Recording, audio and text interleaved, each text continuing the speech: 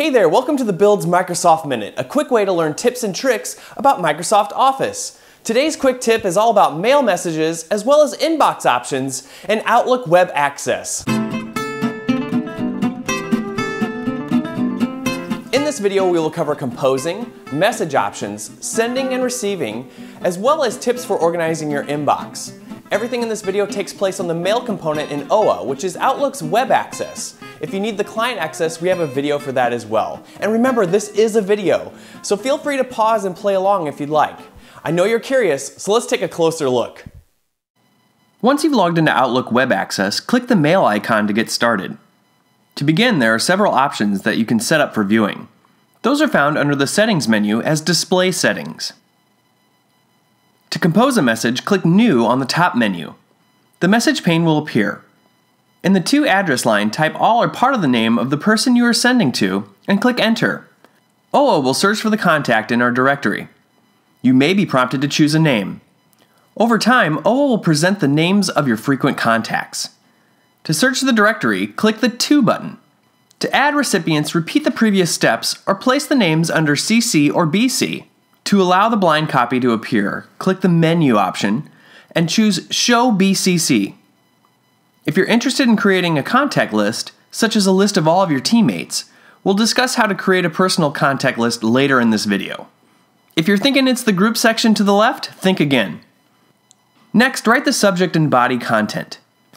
If you want to format any of the text, click the menu options above the body. Did you see the emoji option? Remember to be professional, and if you must use them, less is more. Once you've composed your email, there are several options that you can apply to your message. To attach a file, click Attach in the top menu to navigate to your desired file. Alternatively, you can click and drag the file into the body of your message. There are several message options you can apply to your email.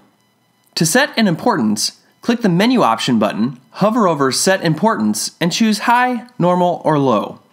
In the same menu, you will find Message options, where you can set the sensitivity, request a delivery, or read receipt.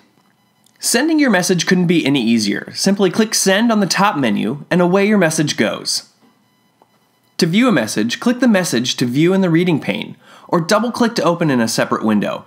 To reply to a message, click the Reply option on the message pane. If you click the drop down next to the Reply button, you'll find several other options, including Forward and other marking options. Some of these options are also found in the Inbox pane. Need to tidy up your inbox? We have you covered. If you want to categorize your emails, you can easily do this using the Categories top menu option. Along with color coding, you can rename and create any new categories as well. Please be aware that Sweep is a semi dangerous tool. Sweep is intended to delete all messages you don't want, past, present, and future, from one sender. A better option is to use Delete. If you need to archive a message, click the Archive button on the top menu. Outlook stores messages for six months, so move important messages into the Archive folder. You will also have the ability to create subfolders with the Archive's main menu. To access your Archive folder, click the More option under Folders. Finally, as I mentioned earlier, there's a way to create contact lists, such as your entire team. That is done from a completely different app within OWA. To get there, click the menu option in the upper left corner and choose People. To create a contact list, click the New drop down in the top menu and click Contact List. Name the list and add all the desired names. Once you're finished, click Save. Now that contact list will be available in the Mail app. As always, thanks for watching. For more detailed information about Outlook, be sure to sign up for any of our classes offered through the BILD. If you like what you're watching, make sure to click subscribe. If you're interested in more Microsoft Minutes, click right here. We'll see you next time.